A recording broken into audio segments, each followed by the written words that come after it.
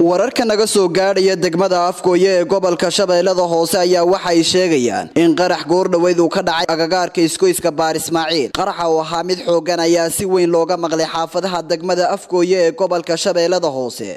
Sida ay saraakiil ka tirsan ciidamada dowladdu ay xaqiijiyeen qaraxaasi ayaa waxaa ku dhaawacmay taliya ku-xigeenka ciidamada haramacad ee gobolka banaadir cabdiweli fanax iyo qaar ka mid ah hilaaladiisa. Meesha uu qaraxa ka dhacay ayaa waxaa ku sugnaa injineero turkiya oo ku howlanaa dhismaha waddada isku xidha afgooye iyo muqdisho. Wuxuuna qaraxa ahaa mid ismiidaamina oo loo adeegsaday gaadhi hoomay casri ahi ay saarantahay qaraxa ayaa la sheegay inuusan wax khasaare ah u geysan injineerada turkiga ahaa ee la rumaysan yahay in loola dan lahaa qaraxa inkastoo ay dhibaata ka soo gaartay ciidamo ka tirsan dowladda iyo dad shacab ah. Ciidamada ka tirsan booliska soomaaliya ayaa xidhay meesha uu qaraxa ka dhacay waxaana hakad la keliyey gaadiidka u kala safra muqdisho iyo afgooye.